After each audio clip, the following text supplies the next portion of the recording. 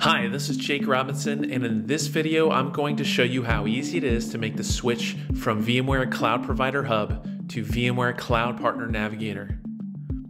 To begin, you can see that I'm logged into my provider organization, and we're going to go to the upper right and click the account dropdown.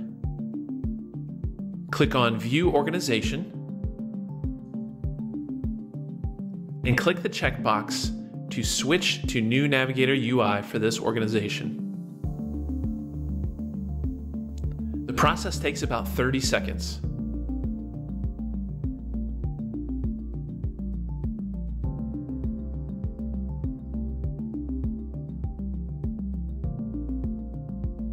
We've now completed the switch to VMware Cloud Partner Navigator for our provider organization, and we can repeat the same process for each of our customer organizations.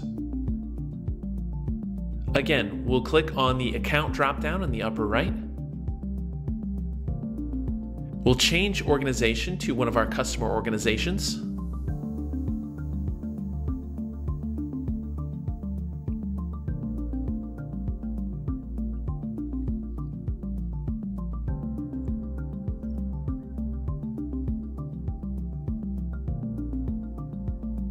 We'll click the account dropdown again in the upper right.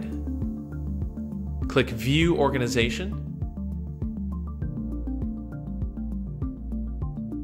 And then click the checkbox to switch to the new Navigator UI for this organization.